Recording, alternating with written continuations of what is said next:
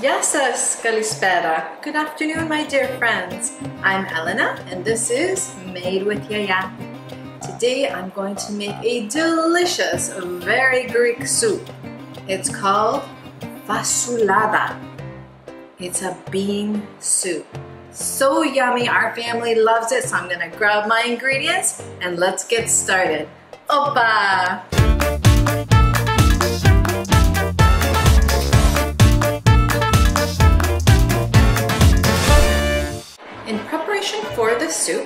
What you need to do is actually soak your beans. Now in this case, I used the white navy beans, but I've used kidney beans, like different ones. They're a little bit bigger, so they might need to boil more, but this seems to be my go-to. It boils perfectly for this delicious Greek soup. So I soaked it in water. Uh, first of all, you wanna make sure that you give them a good wash, rinse them out. Sometimes they have a powdery residue.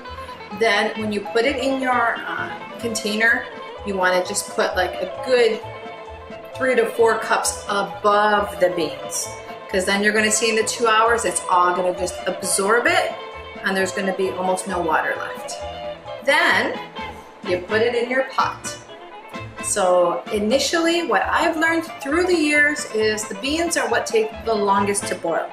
So I always boil them first on medium heat for about an hour. And this is the stage that we are at right now.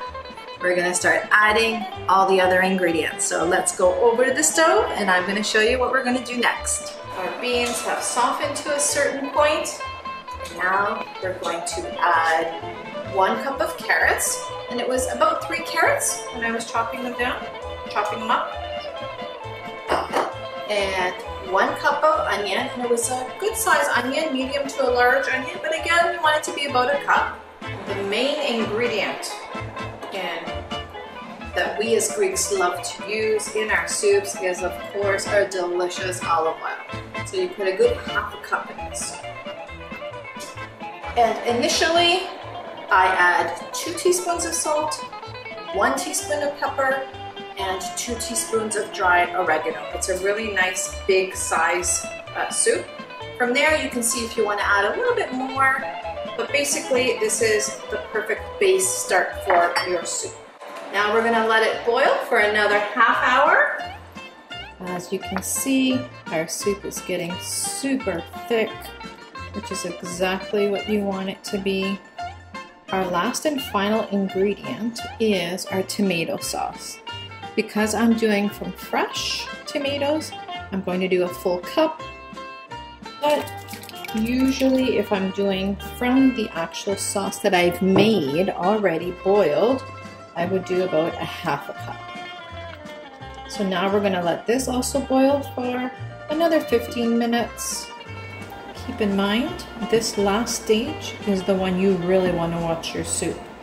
As it's thickening, it can very, very easily get stuck to the bottom. So make sure you're in the kitchen, uh, maybe putting a timer every five minutes.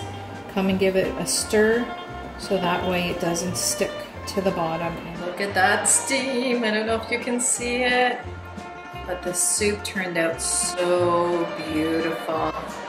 Nice and thick. Now to give it a try. I know my kids have grown up with this soup. My grandkids love it.